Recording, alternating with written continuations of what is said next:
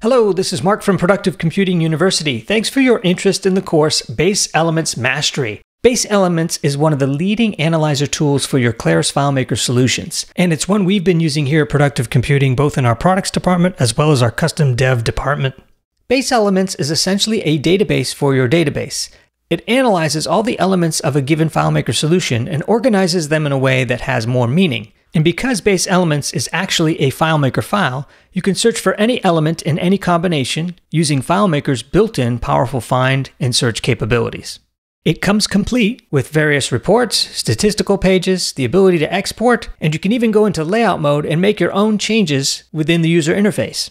In this course, we'll learn how to download, install, and configure BaseElements.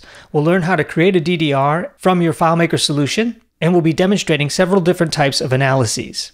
We'll also include every major feature of BaseElements, including all the key advanced features, of which there are plenty.